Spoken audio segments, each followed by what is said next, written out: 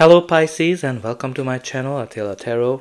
In this video we're to take a look at what kind of energies you can expect in the month of May in the areas of love and relationship.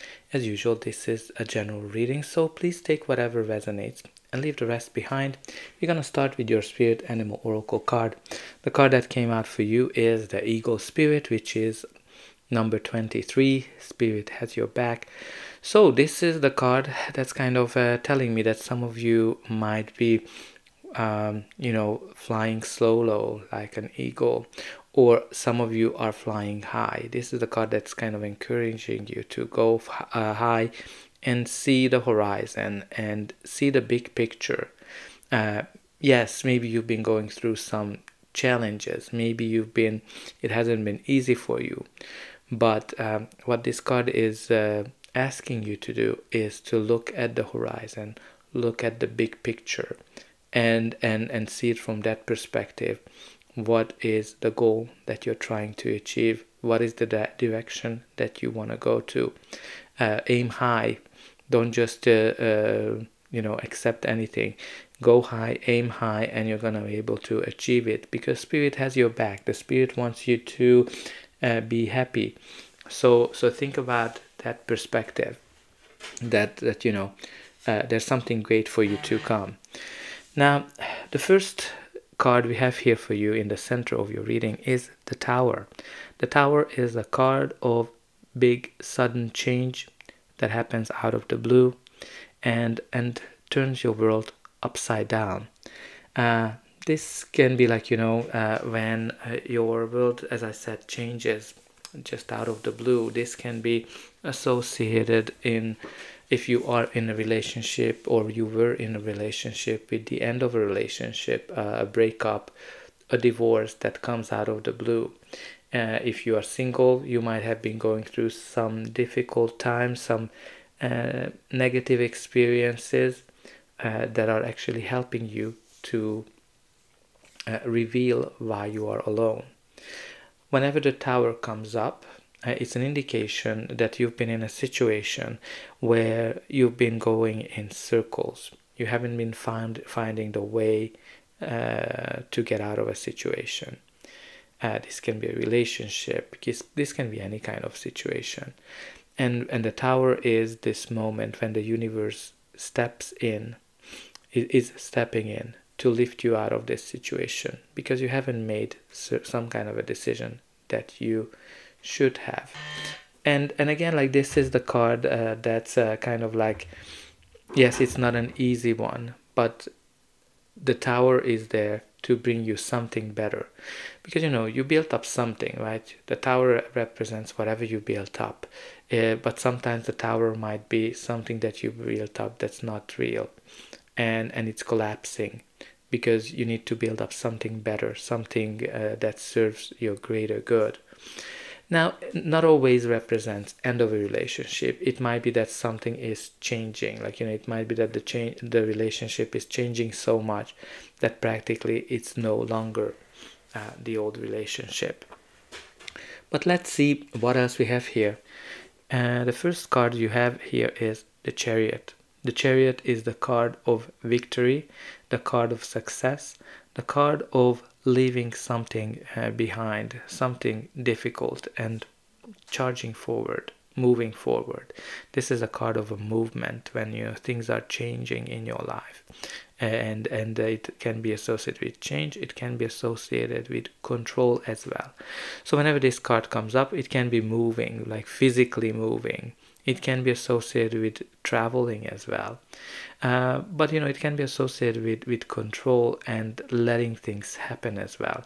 Because uh, the person, the chariot, uh, she is in control, but she's also letting the universe to guide uh, their direction through those those sphinxes.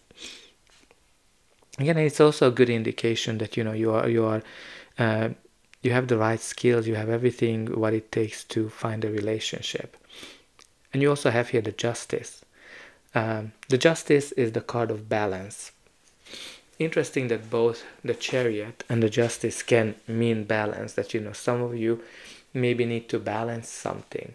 Um, justice is also a big decision, a life-changing decision, uh, but it is also um, associated with legal processes. Maybe some of you are going through a divorce of some sort that's uh, that is a, a legal process, and this is also indicating that there's some kind of a decision that's being made, um, a decision where you are getting whatever you deserve, and it's very karmic. It all depends how you've been behaving. If you've been good, you're gonna get rewarded for it. And you also have the Fool, the Fool, uh, which is a card of a new beginning, a new beginning which is a, a new chapter in your life, right? This is the very first card of the tarot, uh, the card uh, zero, that uh, is indicating that you're on a new journey of your life. Something new is uh, uh, coming in your life. This is the card uh, when you are going into a new direction. You're stepping into a new direction that's unknown for you, and and it's kind of uncertain as well but you are actually very hopeful. Uh, you are uh, you are very adventurous and looking forward to this new chapter, new adventure of your life. So, but it can be also a new relationship or a new chapter in a relationship. But I'm very glad to see that you have here the star right above the tower because uh, after the tower comes the star. And the star is the energy of healing, hope, and positivity. So, yes, uh, the tower disrupted your world uh, and lifted you up But now the star is indicating that you're hopeful, uh, you are actually uh, positive about this change, and you are able to see that that yes, something better is uh, for you to um, come out of it. Because you know uh, the star is the card of healing. So if you went through something painful it indicates that you're healing from that. But it is also associated with a wish fulfillment. When you've been wishing upon a star when you're wishing uh, for something and the universe is delivering that to you or it is bringing you something even better than what you wished for what you dreamed for I'm very glad to see that. And you also have here the moon, uh, which is the card of Pisces. Very interesting. I don't know if you're noticing it, that for now, all the cards that came out for you are major arcana cards, which is an indication that your life is going through some major changes, major transformation as well. Um, so the moon is is, is definitely uh, can indicate uh, being pisces that you know your energy uh, is is in this reading uh, and you're able to handle the energies that come in. Moon is also associated with uncertain uncertainty and uh, and and fears. So some of you might be kind of hopeful but fearful at the same time through this change that you are going through. And you know, the justice uh, has the chariot on top of it, which might be that some of you are coming out victorious in a legal battle that's uh, gonna bring you this new start in life. But you know, moon, yes, it's it's a it can be dark, um, it, it because it's a shadow card uh, in a sense that uh, you're kind of uh, going through this uh, cycle of your life when things are uncertain. But if you're following your inner voice, you're following your inner guidance, this is gonna lead you to your wish fulfillment. This is gonna lead you to something great. So always follow your uh, uh, your instinct uh, whenever uh, the moon comes up. But let's see what's gonna be the final outcome of this reading. But before that, please don't forget to like, share, and subscribe.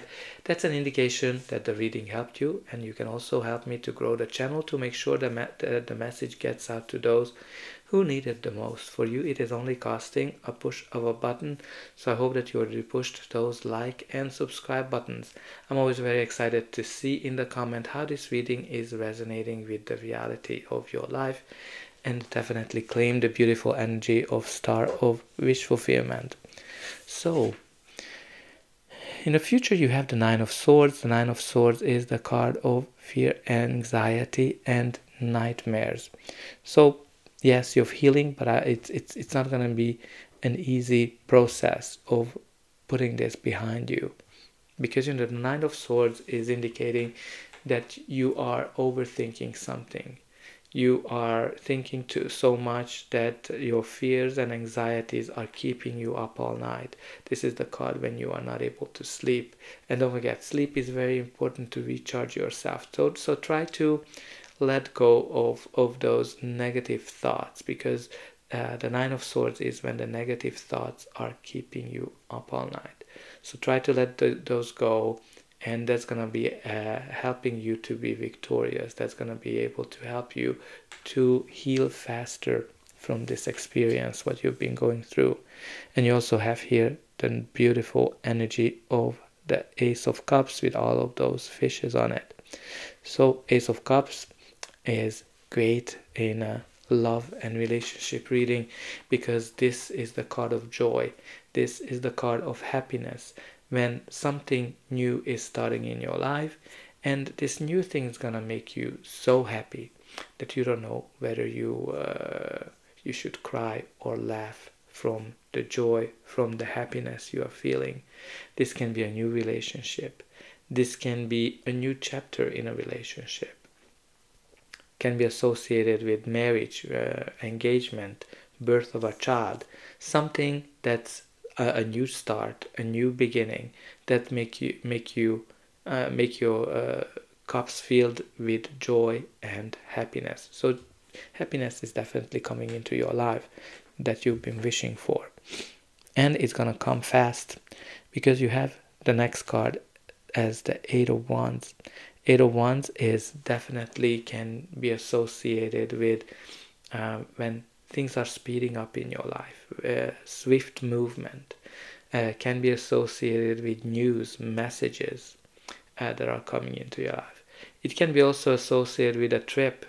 So maybe, especially like you know when you I look at the angle of the chariot tower and the eight of wands, uh, there might be uh, something that happened on a trip uh, for some of you.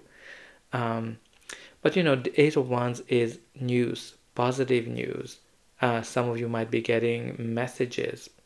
Uh, some of you might be can uh, have somebody stepping in your life and and uh, and, and, and, and suddenly you just fall in love with this person out of the blue, right? Because it is coming from the moon, which is the shadow, and out of the blue, you have this person coming into your life that's uh, that that makes your feelings uh, develop very fast because you know the eight of wands is also associated with the arrows of cupid. So some of you might get fall in love with somebody very fast and that might be actually worrying you right? You're like oh my god how can i be uh, falling in love so fast? Like i don't know this person. Maybe it's going to be on a trip. Maybe this new love is coming like out of the blue and that's what's kind of scaring you. Um, but let's see what is at the bottom of the deck. The bottom of the deck, you do have the Hermit energy. The Hermit, which is uh, an indication that you're looking for um, your true happiness, your true calling. You are rethinking uh, your life from a relationship perspective. What is that you want from love? what is that you want from a certain relationship? And some of you are kind of choosing to go solo when the hermit comes up because you'd rather be alone than than just be in a relationship. And again, like you know, the spirit has your back in terms of your plans. So um, so you know, keep uh, keep that uh, in, in front of you. That you know, there's something that you're trying to achieve here, and there's definitely great happiness with the Ace of Cups and with the Star energy that's coming into your life. So that's all I have for you. I hope that this reading helped you and I'll be able to welcome you again.